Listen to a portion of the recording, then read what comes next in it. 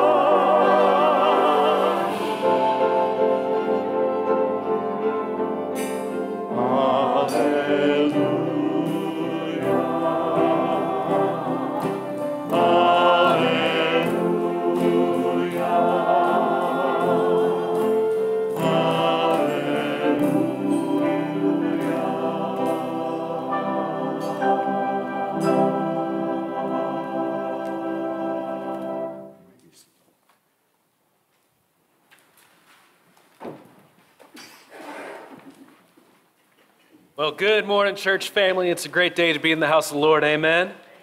And you have survived the first cold front of the year. Way to go.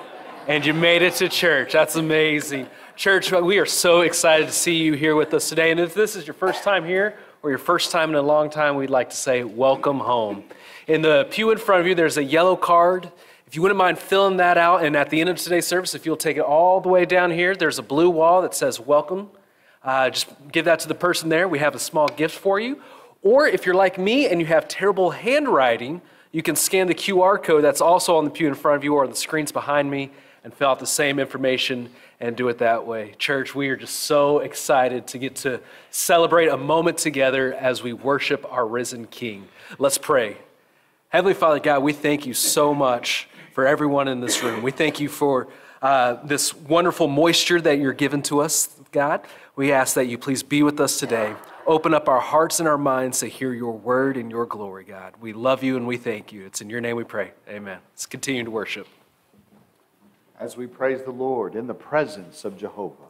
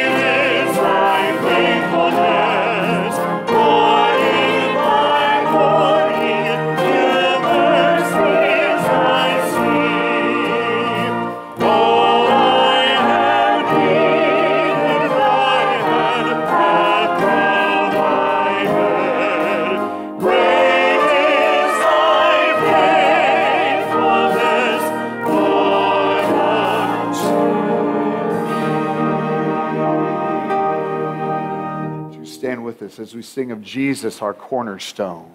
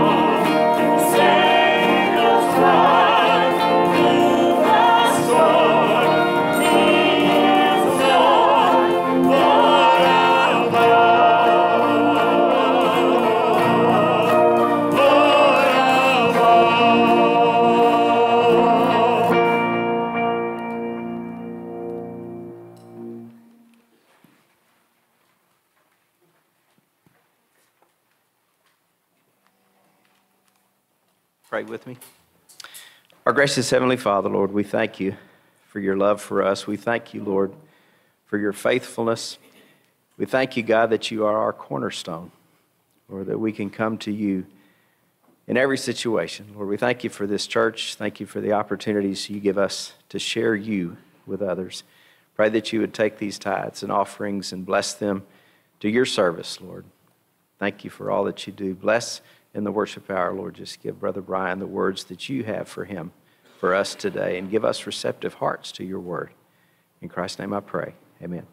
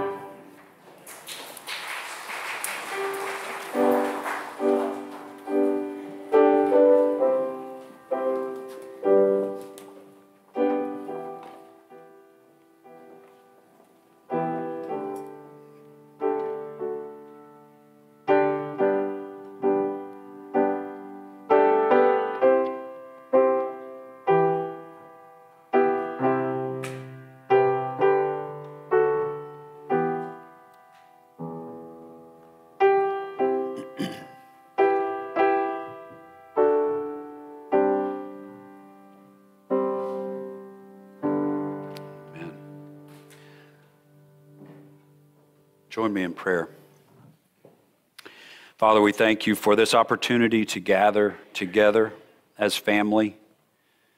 And as we continue in this thought, in this vein that we have begun of thinking about the power of the resurrection, the way it changes everything, I pray that, I pray that today you would remind us that because you live, we have hope. And because we have hope, we can have peace. And Lord, I know there are people in this room today that need to feel your peace, need to sense your presence. Lord, we lift up this time to you. We ask that you would open our hearts to what you have for us. Remind us, no matter what we are going through, no matter what we are experiencing, you are with us. You are near. And your presence brings comfort and peace. Be glorified today, Father, in all that happens here. In Jesus' name, amen. As I just prayed a couple of weeks ago, we began this series following Easter of the power of the resurrection and the fact that it, it changes everything. I, have continued to share a statement with you over the, the last couple of weeks that there is no other event in history that, that redefines human existence as does the resurrection. I believe that is true. We would not be here if Jesus had not died on the cross and been raised again. We wouldn't be here. The resurrection gives us hope. Uh, Jesus said to, to Martha, just a few feet away from the tomb of Lazarus, that He is the resurrection and the life. He gives us life. And so I've been talking about this over the last couple of weeks that this life should be something that is different. Resurrection should make a difference in the way that we live. The world outside of this place should see a difference in us. We talked on the first week after Easter about this idea of the fact that we have a new life. And I've continued to use this statement as well that, that we must be buried with him in order to be raised by Him so that we can live for Him. We're buried with Him. We, we surrender our lives to Him. We trust Him fully. And then He changes us, He raises us up to walk in a new life. Paul says we are a new creature. God says in Isaiah, Look, I'm doing something new.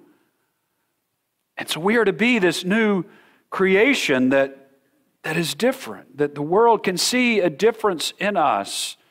And, and, and, as I said last week, we, we talked about this idea of hope, that we have hope, and hope is, is not wishful thinking. Hope is what? A confident conviction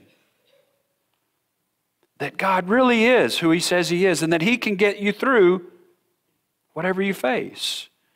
It's that confident knowing that, that knowing that, that God is bigger that God is who He says He is and that He will do what He says He will do. That's hope. And that hope, I believe, leads to peace. I ran across a quote a couple of weeks ago, and I saved it for today because it is very convicting to me. Christoph Blumhardt is a German theologian. And the first part of this statement, you're going to raise your eyebrow, but, but hear it to the end because it makes more sense. He said, It is not the worst if some people are unable to believe that Christ rose from the dead. At least they still regard it as something tremendous, too tremendous to glibly confess. The sad thing is that so many people today claim to believe it, and yet it means so little to them. Let me read that last part again. The sad thing is that so many people today claim to believe it, and yet it means so little to them. He wrote that over 100 years ago. That was convicting to me when I read that. Uh, you may have heard me say, I have a little sticky note on uh, my monitor that says that I, I, wrote this down several years ago that the most uh, grievous sin of the believer today is that we live in the very presence of God and yet with little regard. God is with us all the time, and we just don't take time to notice.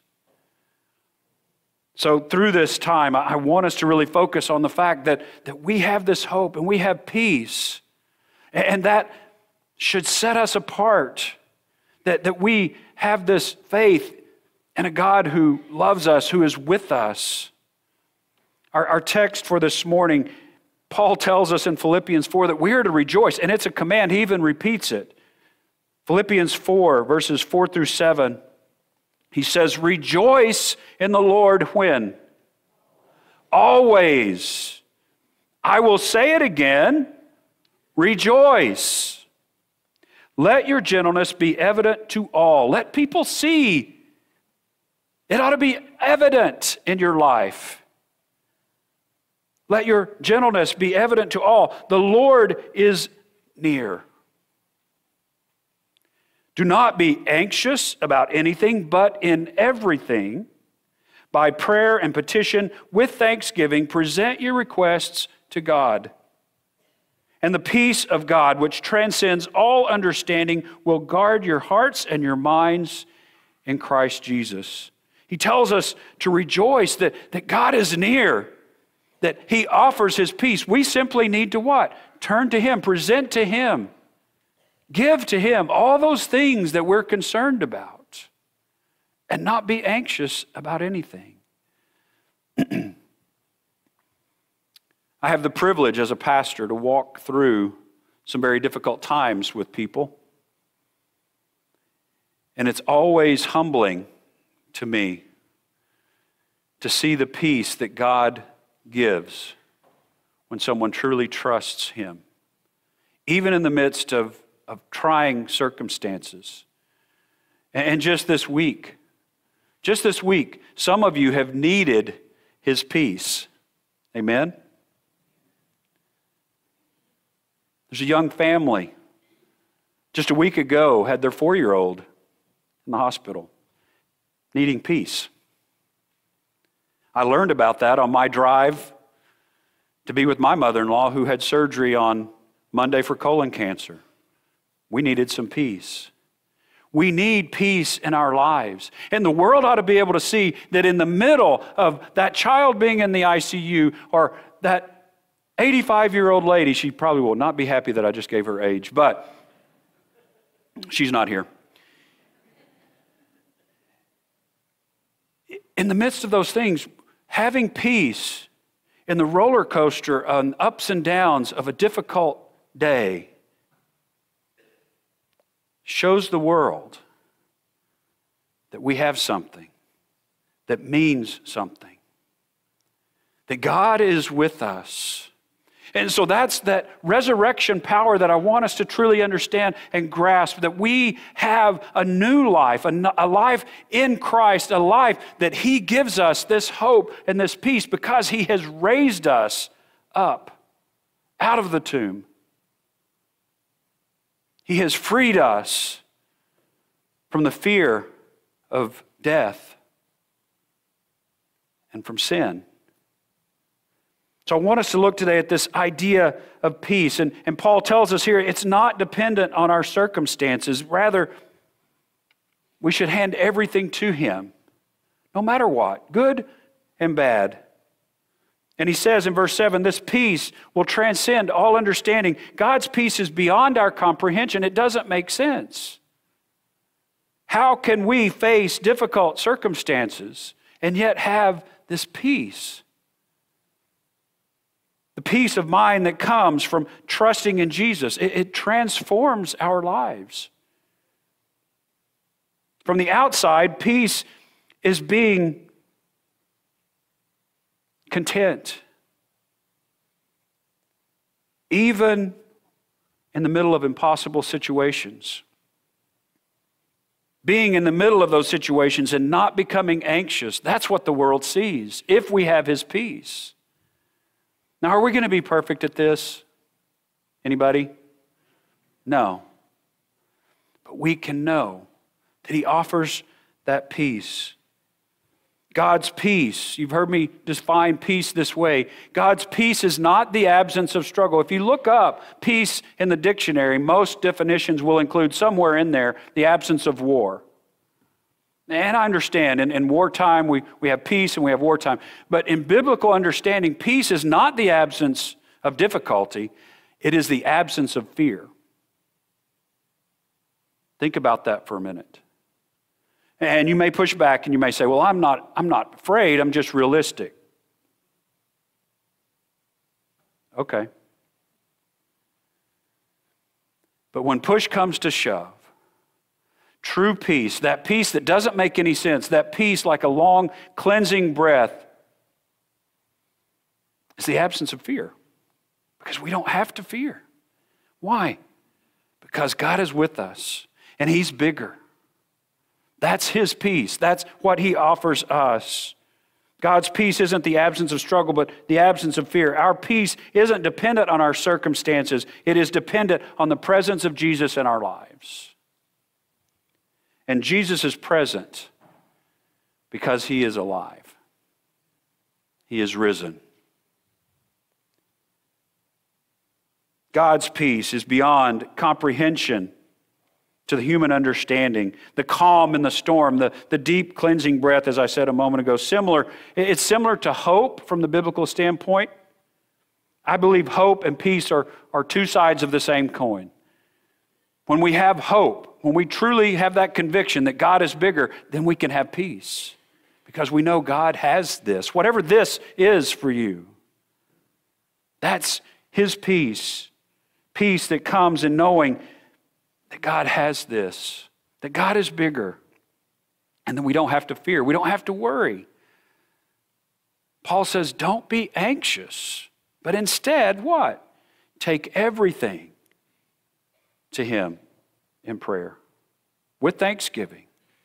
Offer it to Him. And then trust Him with it. How often do we take Him our needs and say, Lord, I really need you to help me with this?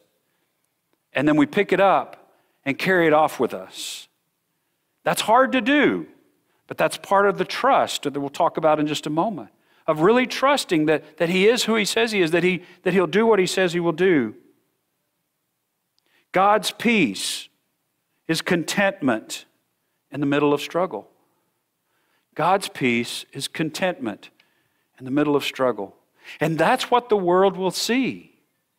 Those around you who may not have a relationship with Jesus, when they see you going through a difficult time and yet you do so with peace, knowing that God is bigger and that you trust that God loves you, that, that God is near, that God has only the best in mind for you, the world will see that. Those around you will see that. The difference that it makes to have Jesus in our lives he is that source of peace, the peace that is made possible because of hope. We find it in Jesus. Because he lives, because he defeated death, because he defeated sin, he rose again. And that resurrection changes everything. Because now we can trust. We have hope. We have this peace. Jesus has truly defeated sin and conquered death. And so there's nothing else to fear. I referred to this passage in Hebrews chapter 2 before, but the writer of Hebrews tells us that Jesus came, became a man because the children were living as slaves to the fear of death. But because of what he has done, he has freed us from that fear. We no longer have to fear death. We no longer have to pay for our sins. In verse 5, Paul says that the Lord is near. I want to pause here for just a moment and just do a little Bible study with us. Some would suggest that, that possibly that ties, that statement, the Lord is near, ties to the sentence before. So if you look to that, it says, Let your gentleness be evident to all. The Lord is near. And so, in that regard, if you take it that way, then basically Paul is saying, You need to be on your best behavior because God's near right? There's some truth to that. He says, let, let your gentleness be evident to all. God's watching, God's near. There's another way to take it as well. If you have studied the Bible much, you, you know that in the original language we didn't have all of the markings, the periods, the, the, the verses. It was just all big sentences running together. So here's a thought the Lord is near. Do not be anxious about anything. The Lord is near. Now, is it true that we should be making sure that, that our gentleness is evident because God is watching? Yes, absolutely. But I also see power and understanding that God is near, and so we have nothing to fear. God is near. So be anxious for nothing. Do not be anxious about anything, but in everything, by prayer and petition, with thanksgiving, present your request to God. Verse 6. The key to having peace is trust and taking all of these things, all of the things that we deal with, all of the struggles in our lives, taking them to Him. Now, let me just say, we have a tendency to take the big things, don't we? But the smaller things, we think, I got this. I can handle this. Paul tells us take it all. Take it all to Him. I have found through my life that more often than not, those little things add up to be big things. And it pulls us away. It takes our eye off of who really is able to take care of it, who really is trustworthy, who really is faithful. I will tell you, and I've told you this before don't put your trust in me. I'm not going to willingly, knowingly let you down, but I'm human. And I'll just tell you now, I'll let you down. Some of you are shaking your heads in, in agreement. God is the only one who is faithful and trustworthy. So we take our petitions to Him. We, we shouldn't be anxious about anything, but in everything, by prayer and petition, with thanksgiving, present your request to God. Take everything to Him. That's what He wants from us. We are His children. He says, Don't be anxious. I didn't create you to be anxious, I created you for a life to the fullest a life of trust, a life that experiences joy and hope and peace. That's what I created you for. But when you try to carry these things, when you try to take things on, you experience that anxiety, that fear. And what happens is peace goes out the window. When we take everything to Him, present it to Him with thanksgiving, he takes it and He gives us His peace because He is near. He is with us. He never leaves us, He never forsakes us. You can trust God because He's always near. Do you trust Him?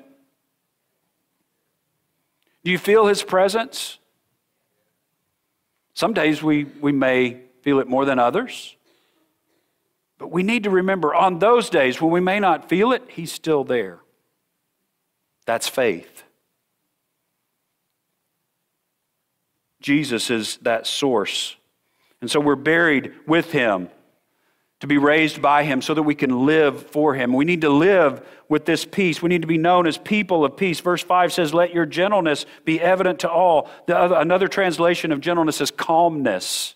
Think about that for a minute. Let your calmness be known to all. How many of the people sitting here today, how many of you would say, that people around you think of a calm person when they think of you? Some of you. Some of you, maybe not so much. But he says, let your calmness, let your gentleness be evident to all. That's what others should see in us. This should be a daily characteristic. People should see that difference in us, that there's not anxiety, that, that, that we trust, that, that there's a peace about us, a calmness about us. And that particularly shows up more than any other time in the middle of difficulty. Because the normal thing to happen for any human being when struggles hit us is that we become what? Frustrated and anxious and fearful and want to make sure things aren't going to go as badly as they might go for someone looking in from the outside, when they see that calmness, they think they've got something that I don't understand. Paul says that passes understanding, human understanding, doesn't make sense. And so he says, Don't be anxious. In fact, uh, A.T. Robertson translates this stop being anxious. There's an old Bob Newhart. You remember Bob Newhart, the original? I love this clip. I, I love it. I started to show it, but it's too long, and, and so I'll just tell you about it. He, he, uh, he is meeting with a, a, client, and a young lady, she comes in and she says, Well, I, I just have this fear of, of, of being locked in a small room. And he says, So you're claustrophobic? And she says, um, yes, I guess so. I just, I just have this fear. I don't like being in elevators. I just, I don't like being in tight spaces. And he says, well, that's, that's, you're claustrophobic. He said, uh, I've, I've got two words for you that will heal you. And she says, okay. And he says, only two words. Uh, she said, should I write it down? He goes, well, it's only two words, but, but if you feel more comfortable, then yeah, yeah. So she gets out a pen and paper, and he says, okay, are you ready? She says, yes, I'm ready. And he says, stop it. Now, for the counselors in the room, I understand that it's more complex than that. Please understand. But I see the humor in that. And Paul is telling us to stop being anxious. Stop being anxious. Why? Because God is bigger. Now, it may not work out the way we want, but it's going to work out the way He wants. And when we trust that He knows better than we do, there's nothing to fear.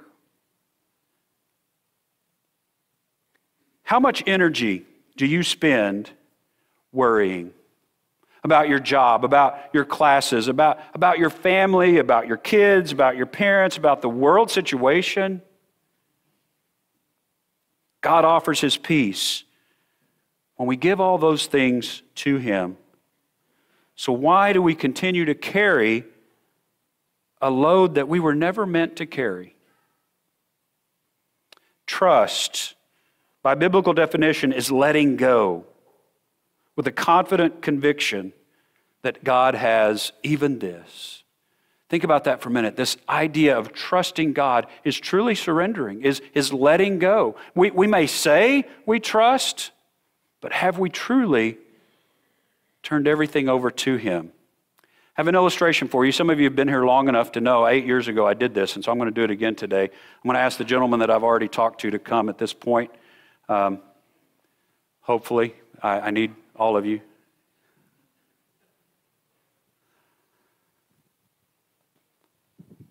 So I'm going to line you up. One, two, three, four. Okay, perfect. We could do it with less, but it would just be more painful for me. okay, so yeah, you three line up here. You three line up here. Thanks, David. And Okay, now I want you to grab arms with the person across from you. No, I mean like really not hands, arms. There you go, like these guys right here. Okay, now I need everybody to take about two steps this way. There you go. All right.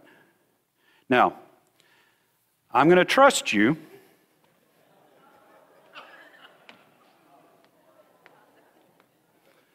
To catch me.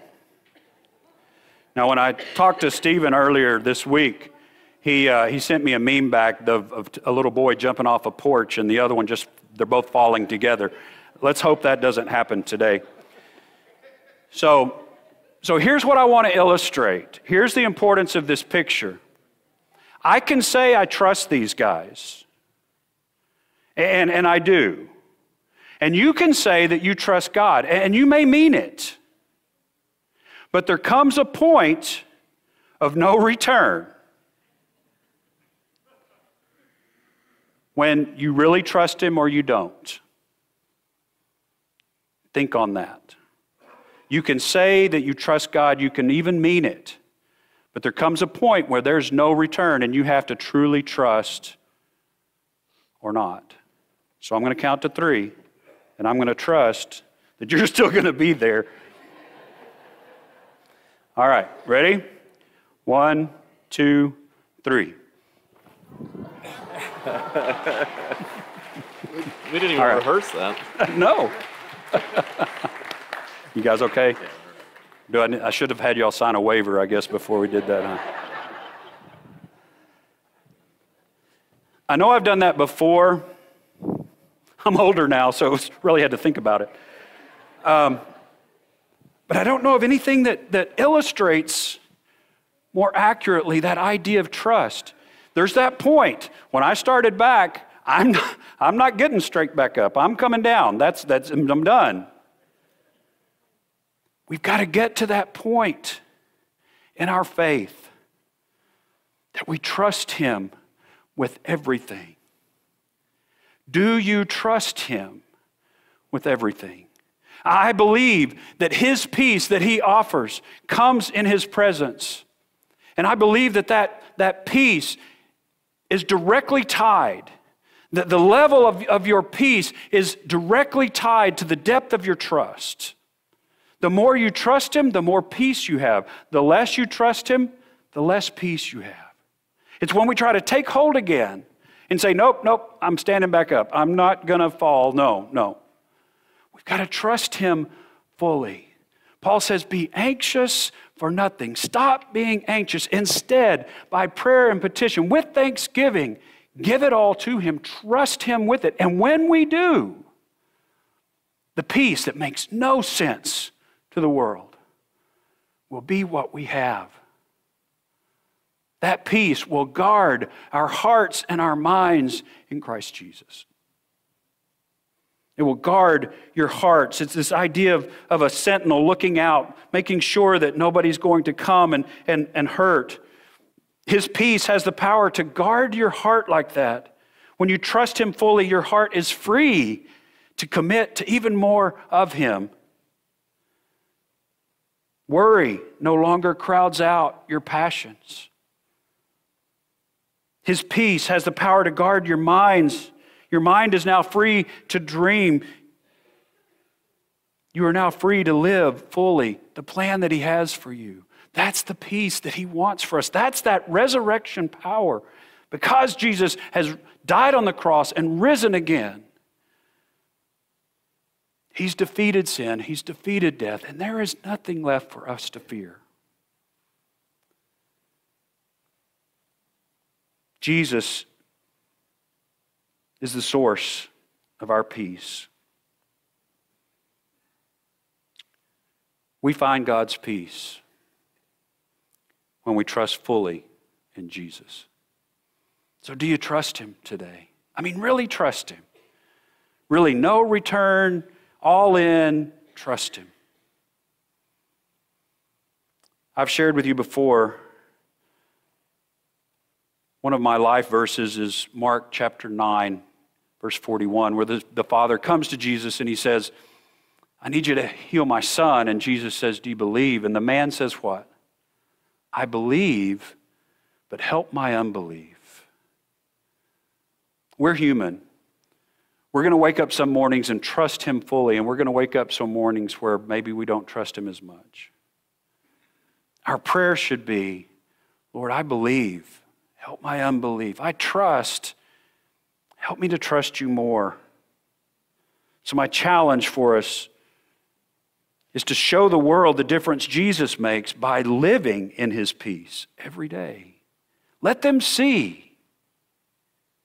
May it be evident to the world the calmness, the peace, the hope that you have because Jesus lives and because he's near.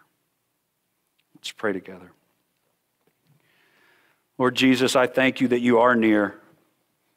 And I pray today that that would be a reminder, the fact that you are near will be a reminder to us that, that there's nothing to fear, that we can truly have your peace, your hope, because you are with us. And you've already won. You've already defeated sin. You've already defeated death. And we have nothing left to fear because you are bigger. Today, there are people in this room that that may say that, but they're dealing with something right now that is just bigger than they know what to do. Lord, today help them to understand that, that you are bigger than even that, whatever that is. And while we still go through those difficulties, we do so with peace, knowing that you are with us and that you have our best interests in mind that you love us. And so today, I pray that you would help each of us to sense your presence even more fully, to trust you even more deeply, and to experience your peace even more powerfully than we ever have. Thank you. Thank you for being with us. Thank you for loving us. Thank you for giving us your peace. Lord Jesus, it's in your name I pray it. Amen. Just a moment, I'll have you stand for a time of response. Uh, Chris will be here. I believe Micah will be here. I don't see him right now, but uh, if you have uh, a decision that you'd like to make, we'll be here. If you'd like prayer, we'll be here. I don't do this very often. I'm not opposed to it. I just don't usually uh, verbalize this, but if you would just like to come and pray uh, here at the altar, that would be fine. And just remind you that we're here because we trust Jesus. And we should ask Him to help us trust Him more. If you'd like prayer, we'll be here. However, God leads you, respond to Him during this time as we stand and sing together.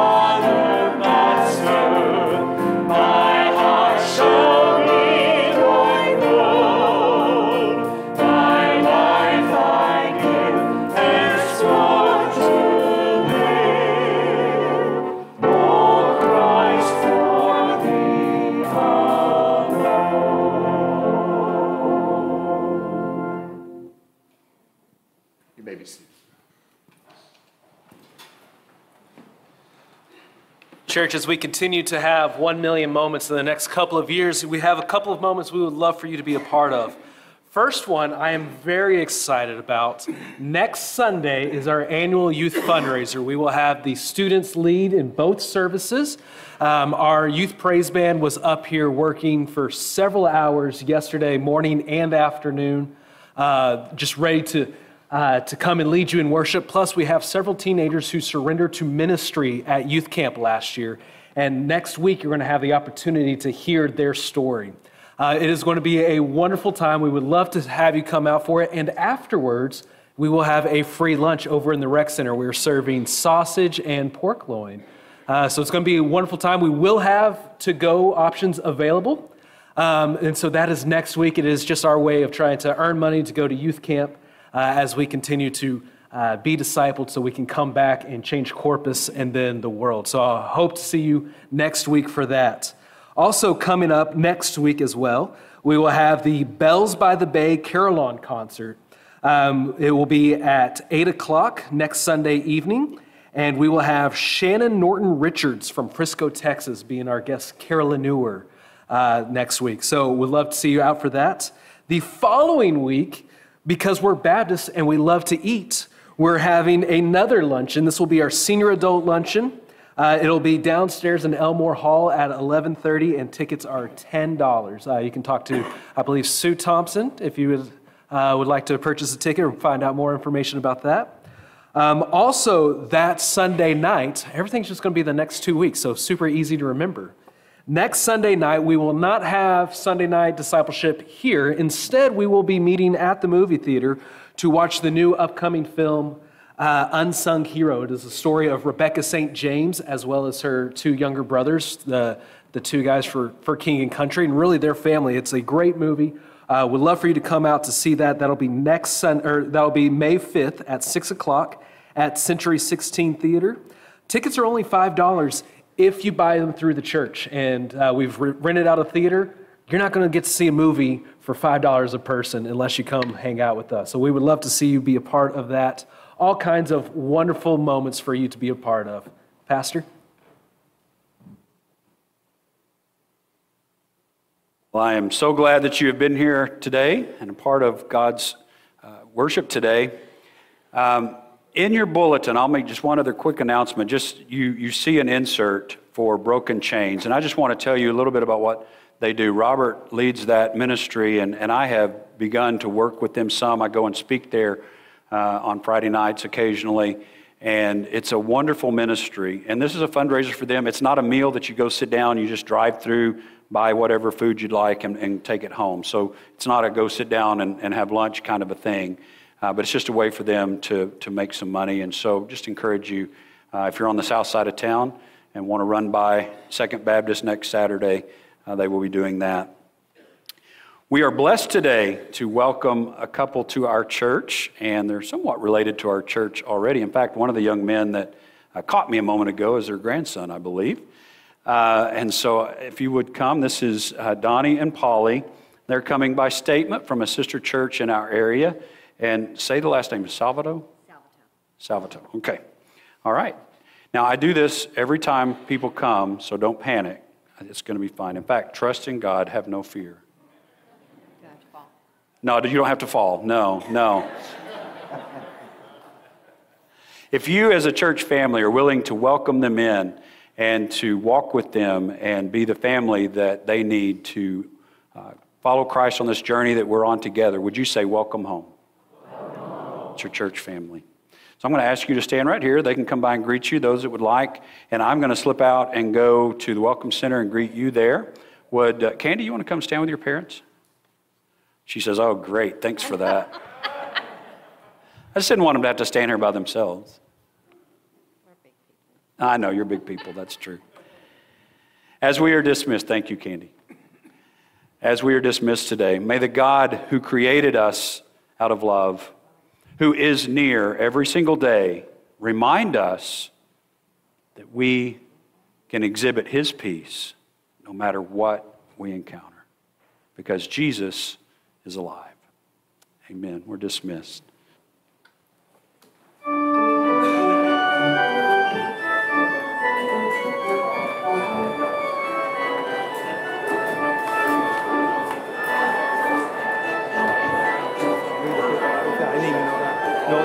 どうですか